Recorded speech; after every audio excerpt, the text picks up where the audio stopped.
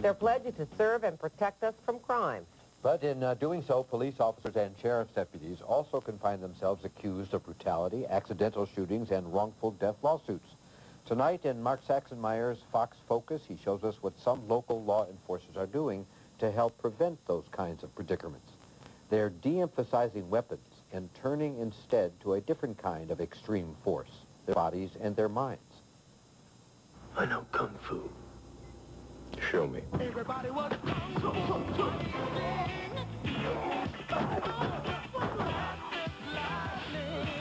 Ever notice how in the movies the good guy almost always gets the bad guy when he resorts to or something similar?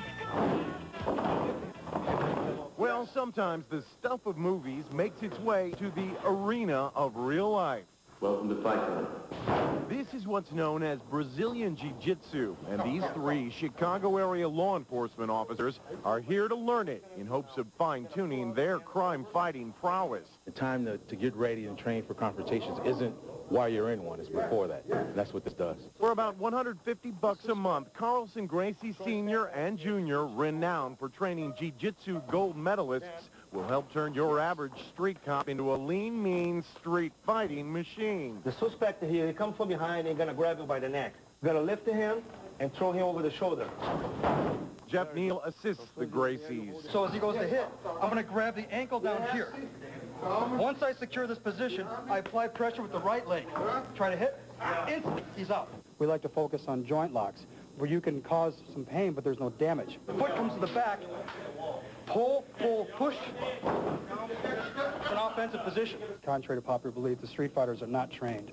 They're wild, and they're much easier to control once the law enforcement people work with us. And since officers aren't allowed to choke or hit those they're apprehending, Jiu-Jitsu works well as a submission tool. We're not pushing the punching um, and the choking.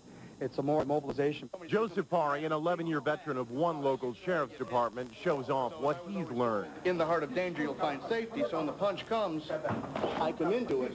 This way I can secure the arm, break the balance, and then I have my lock and my secure, so I can either take him to the ground, dump him up, or squirt him out. These officers say 80 to 90% of police altercations end up on the ground, and that's why this type of training is essential. When something happens out on the street, you're, you have a cooler head and you're uh, more able to react, which is uh, so you're not freezing up. Trap, base,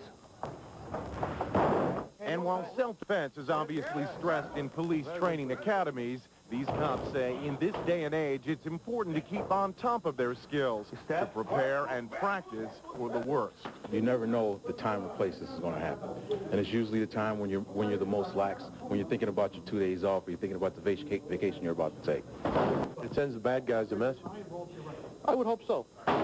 And while what these guys are learning isn't exactly this, It's not flashy. Everything in here works. You're not making movies, sir. nonetheless, they're ready for their close-up. Yes, yes. And that's kicking your... Very good. Good job. With the Fox Focus, Mark Saxenmeyer, Fox News. Well,